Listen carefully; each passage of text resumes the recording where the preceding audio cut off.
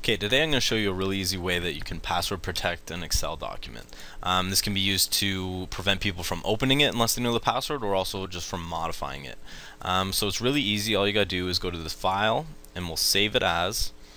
So I'm going to save this document to my desktop and I'm going to go to tools here and then go to general options. So this will pop up uh, the options here. So there's a password to open and there's a password to modify. You could have um, it be the exact same thing or you can actually have them to be different if you want or you can have one of them or both of them. Uh, it doesn't really matter. It gives you that flexibility.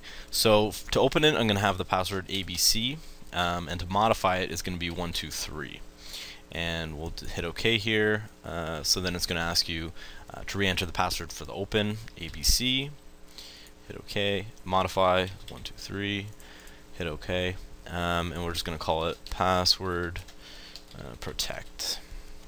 And then you can hit save. Okay, so I'm going to close this down. And here's my document here. So if I open it up, you'll see that there's password protected for um, just opening it itself. So if I try 123 here, it's not going to work. Um, what I have to do is type in the correct one, which is going to be the ABC. Um, and then this is to write, so 123. And now I can come in here and I can edit it. So that's it. It's nice and easy.